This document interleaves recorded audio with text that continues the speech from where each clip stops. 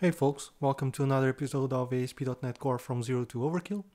In this episode, we won't see too much code, just a little bit, and it should be a rather quick episode, as it will be mostly an introduction to a redesign of the API, the Group Management API, as we are going to improve the internal architecture as we start to add more features. So, in this episode, we'll see the redesign of the the API architecture. Currently, we are using a traditional layered architecture. I'll explain why. But uh, the target is to go to a, a hopefully better architecture. In this case, based on the onion or hexagonal or ports and adapters. Not exactly the same, but the the base principles are I guess the same so we're going with this and it's quite hip in .NET land right now. So we'll take a look at it. Uh, so I'll explain why the redesign. Uh, some notes about this implementation although we won't go into much detail on the code on this episode.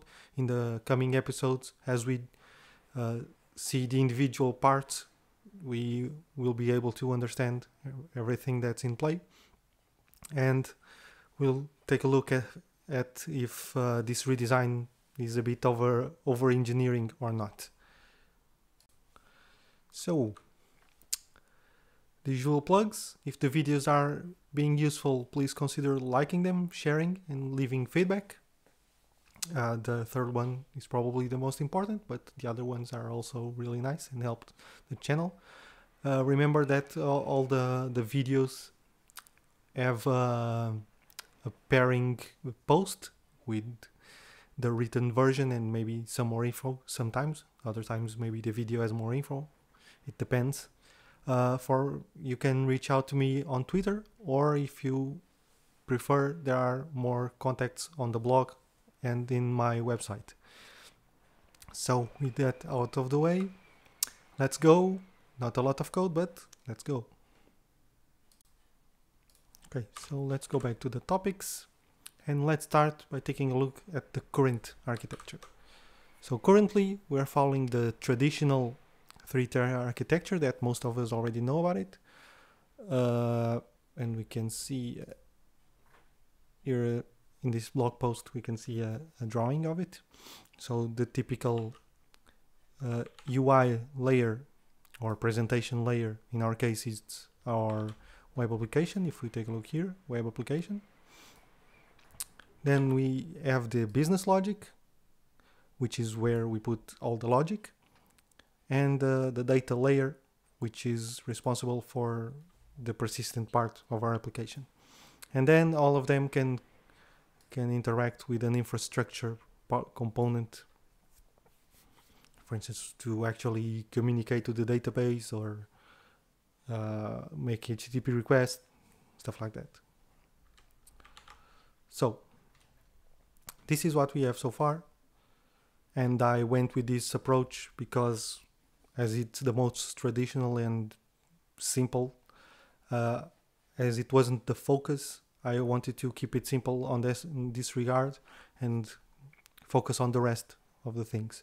But now that we want to continue the application, add more features, it's about time to reorganize this. So to reorganize this, we are going with the, something akin of the onion architecture or hexagonal architecture, or like I put here, uh, ports and adapters, and also there's clean architecture. So maybe they're not exactly the same, but the core principles are so I'll put them in the same basket even though maybe some people will, will be annoyed but the the core principles are really similar and I think that's the important part. So the onion architecture was proposed in this article by Jeffrey Palermo in 2008 so it's not really new and what he proposed he has here uh, a diagram. Let me open it, bigger. The zoomed in it's not great but I think we can understand. So it's called the onion as you can see because it's the layers are a bit different. Instead of being a stack it's uh, like this like onion layers. And uh, the idea here is that uh, things at the center don't know the things outside just the other way around the things outside know the things inside. So at the center is this application core which he illustrated with this domain model so the entities uh, and all of that. Domain services and application services so a bunch of things that do the application logic. So this would be like the business logic layer organized in a different way. So this would be the core of our application and then instead of stacking up UI uh, on top of this business logic that would call the um, data layer we would have the parts that are basically infrastructure. We have here really infrastructure but also tests and user interface. So they are all built upon the logic the, the business logic. And uh, now you ask so there's no data layer how can we go to the database? So the graphic is here the database so the infrastructure is responsible. But the centerpiece doesn't know this part. So what happens is in the middle we create for instance if we want to access the database we create a repository interface for instance it's an example create a repository interface in here. So over here we create some repository interface. But then we implement this interface at the infrastructure level. So why that? So the the do domain part, the application core, can create the interface because it knows its needs. So it knows it needs to fetch an item uh, for a given condition. It, it knows it needs to to list all the items that exist, some, something like that. So this is domain logic, business logic. It knows what it what it know what it needs, but it doesn't know how to get it, and this will be implemented in this part. So this will provide the interface, and in here we implement the repository interface. So in our case, we are using EF Core for for now. So we would create Uh, a repository implementation of the the repository interface that used EF core to go to the database or make uh, an HTTP request to somewhere or find files, whatever. Stuff that, that isn't specific to the business logic, but mostly a, a, an implementation detail. So this is the gist of these architectures, be it the Onion architecture, with the hexagonal architecture, uh, ports and adapters. Uh, for instance, this article from Mark Seemann talks about it all being the same and even goes into creating some nice diagrams. So maybe the the initial idea and some parts of it are not exactly the same but in from a core principle point of view all of these architectures are pretty much the same. And we're going to implement something uh, among these lines.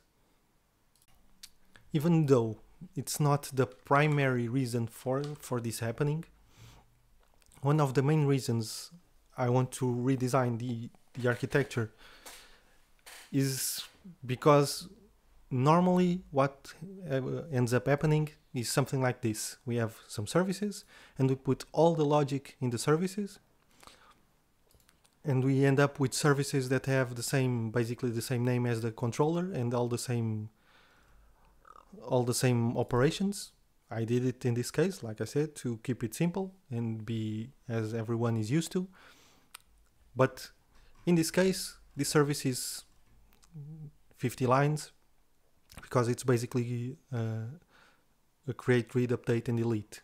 It's all it does. But we will want to create logic. And as soon as we start doing that, this class will start to grow. a lot. And uh, if we go to the web, we go to the controllers, and it's a controller with the same operations, just calling the service with the same name.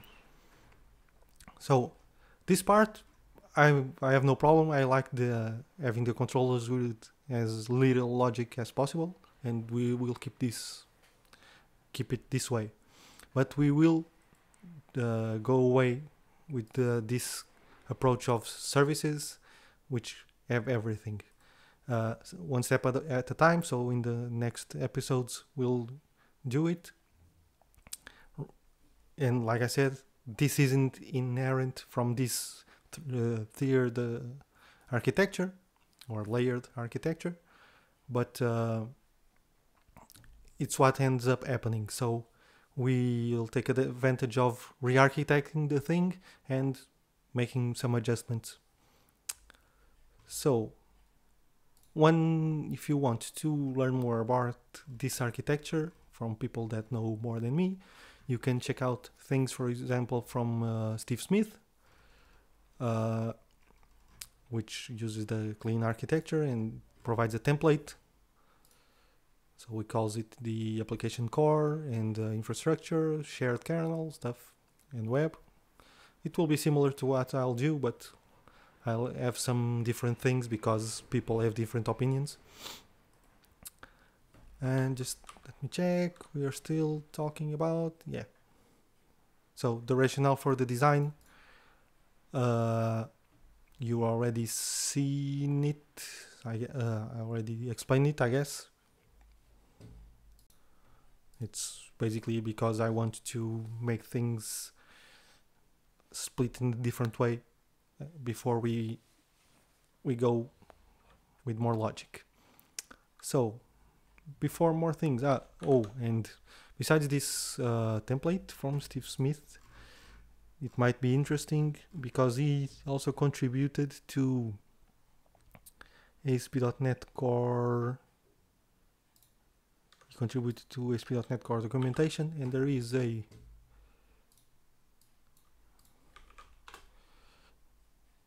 whoops. eShop on web reference application. There's a eShop on web and eShop on containers. This is the monolith version let's say like that. And uh, it follows that architecture application core infrastructure web. So we can see this example. It's more it's already there. And uh, what I will show is being built so you can take a look at both what I'm doing and what he's doing. Depends on your preference or maybe you want to see everything. But yeah so before so we I think we got it covered for this this and this. So let's go about this about this implementation. So what I created here is uh, ignore this project because this is a, a shared project that eventually will go into a NuGet package, but this is for a future episode. That's why it's still here. And what we have here, I created three projects. And remember this project, separating in project is not mandatory. You can just use the same project and use folders. It's the same. I used it uh, like this in projects because I like the separation. It's sometimes uh, easier to make sure we don't reference the wrong thing. That's the only reason why I do it like this. Some people don't like this approach. Uh, prefer to put it all in the same to make it easier. Uh, but I go with this approach. So, in this case, we have the domain, which is where services is here. It's empty. That's why it's probably with this. But uh, right now we have no services so that old school services folder that we had, it's gone. It doesn't mean that there won't be, but uh, right now there are not services.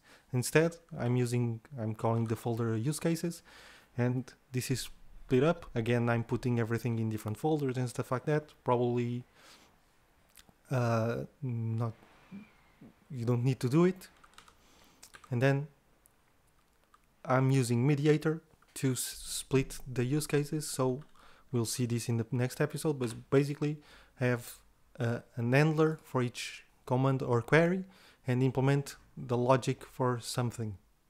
I don't want to go into much detail right now because it's for the next episode. But basically so we have a create command we have a delete we have a get user uh, get user groups uh, update groups details stuff like that. So instead of having one service with a ton of logic uh, so instead of having this and then this not this this and this and this and this all in the same service getting larger and larger we split in use cases. So by making it this way. In this case i'm splitting into files but you could put all of this in the single file. I'll show you in a bit an example. But uh, i use files so i get the logic here really tidy instead of having a giant file to go through.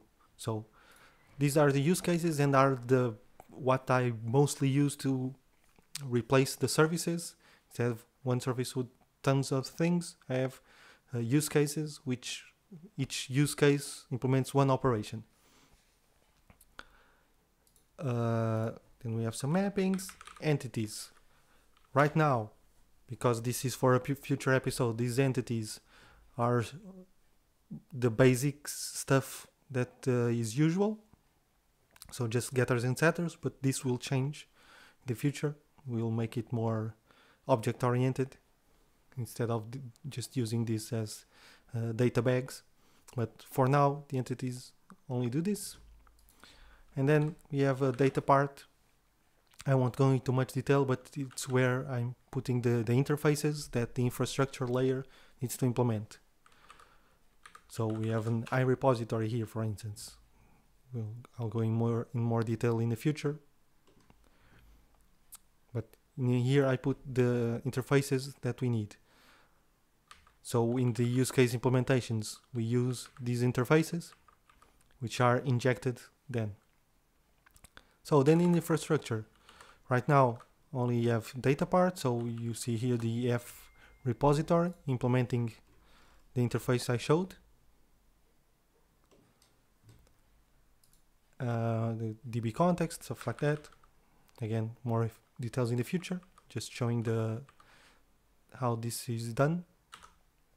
And in the web part, I did a bit of reorganization, mainly remove the controllers part, and now it's features, groups. So I'll put everything related to the groups in this folder instead of having uh, stuff from groups in the controllers and stuff on the models. So it's all here and yeah the controller is pretty much the same as it was but instead of calling a service uses MediatR to send the the queries or the or the commands but the rest is mostly the same. So this is in terms of architecture uh, or better yet the organization of the project. The rest is pretty much the same. So we're going to really implementation details in the next episodes. But if you want, you can already see the code that's there. So things will change, of course, but you can already take a look at what's uh, available on GitHub. And if you haven't thought about it until now, you will think as soon as you see the code, if isn't this over engineering? Well, I guess uh, to some degree, yes. It really depends on the application, I guess, or for something simple, microservices, maybe too much. Uh, but I like the, the separation. And sometimes we see the discussions on Twitter so Steve Smith likes this kind of uh, organization. He proposes it, and there's an implementation or on the ASP.NET Core repo, stuff like that. Uh, but for instance, uh, Jimmy Bogard is not a fan. Seems he says it's too much. So he has another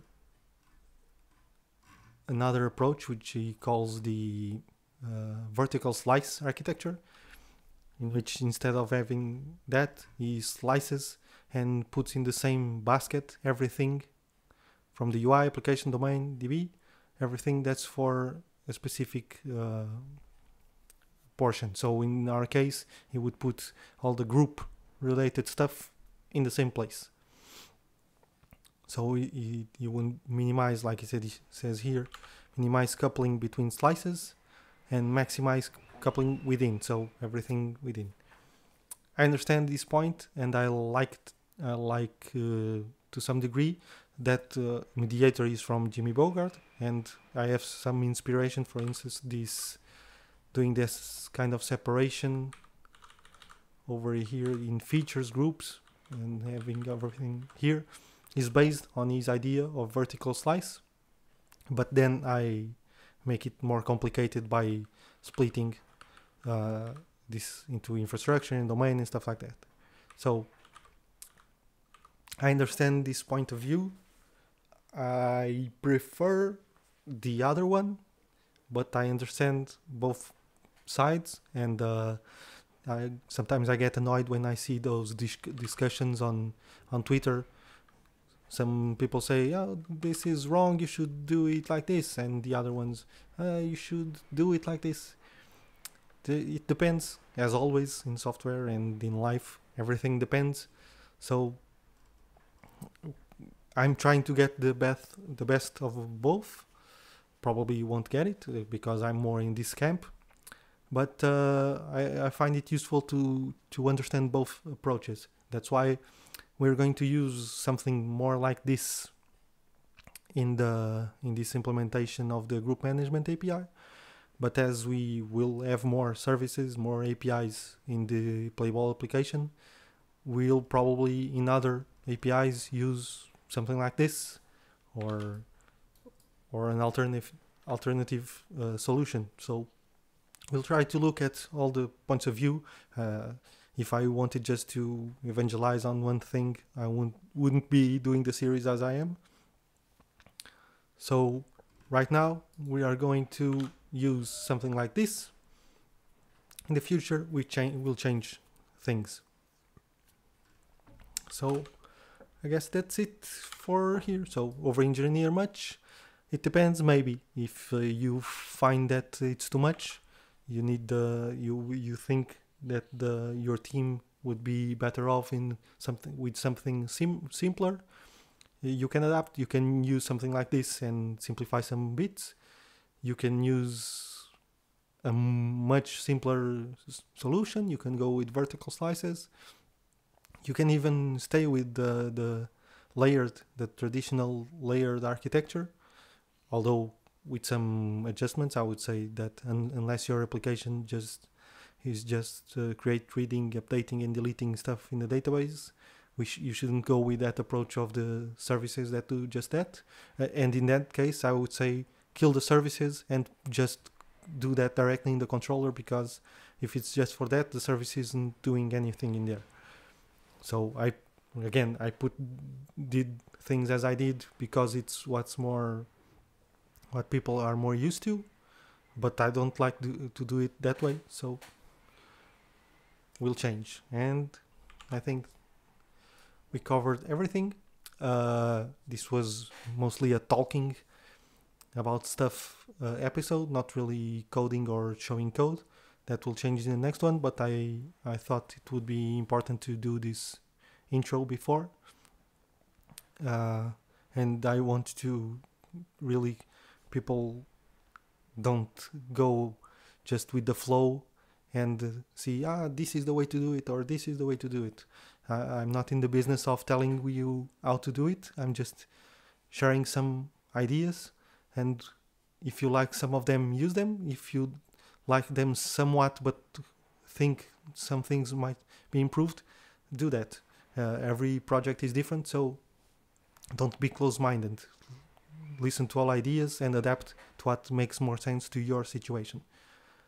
So now I guess that's it. So in this case, go see another video. Thanks for stopping by. See yous.